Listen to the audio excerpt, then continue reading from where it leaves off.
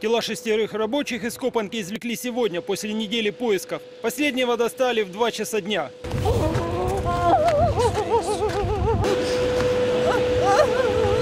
Родственников пригласили на опознание, но жены и матери не смогли подойти к телам своих близких. Сил хватило только у друзей погибших. Ожогов нету, спецовка целая, а так побито тело, может, э, углем побило. Марина Меняйла осталась с двумя детьми. Говорит, супруг полез в Копанку из-за нужды. 30-летний Валерий работал охранником. На официальной работе, где он работает, у него зарплата 1600. У нас двое детей, и на эту зарплату прожить просто нереально. Квартплата за квартиру только э, до 1000 гривен в месяц.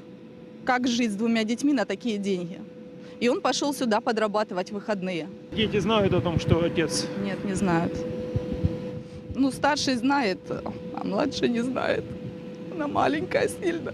Елена ожидает четвертого ребенка. Старшая дочь до сих пор не верит в смерть отца и прячется от всех в машине. Мать надеется на помощь специалистов. Она не верит, она даже сейчас, я говорю, я ж тебя привезла для того, чтобы помогли психологи. Женщина надеется узнать правду о смерти супруга. Виктору Челенко было 36 лет. И теперь хочется просто, чтобы они признали, что они не алкаши никакие, никакие не это самое. Курить они там не могли никак, потому что его сигареты, и не только его, лежали наверху, все они выезжали и курили на поверхности. Единственное, хочется нормального заключения о смерти, человеческого, того действительно, от которого они погибли, от взрыва метана.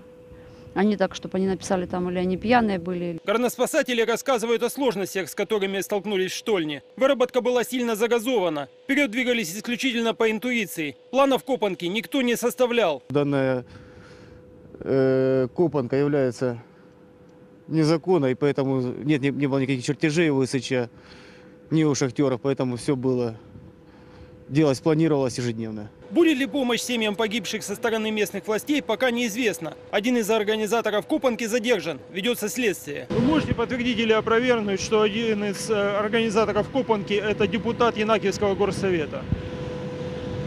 Я могу это опровергнуть только. В настоящее время задержан один человек, который был на этой копанке управляющим. Он приносил зарплату, платил людям и все остальное, понимаете. Отвечал полностью за ее жизнедеятельность. Родственники погибших решили, своих родных они похоронят вместе. Дмитрий Кочергин, Николай Добрянский, телеканал «Донбасс».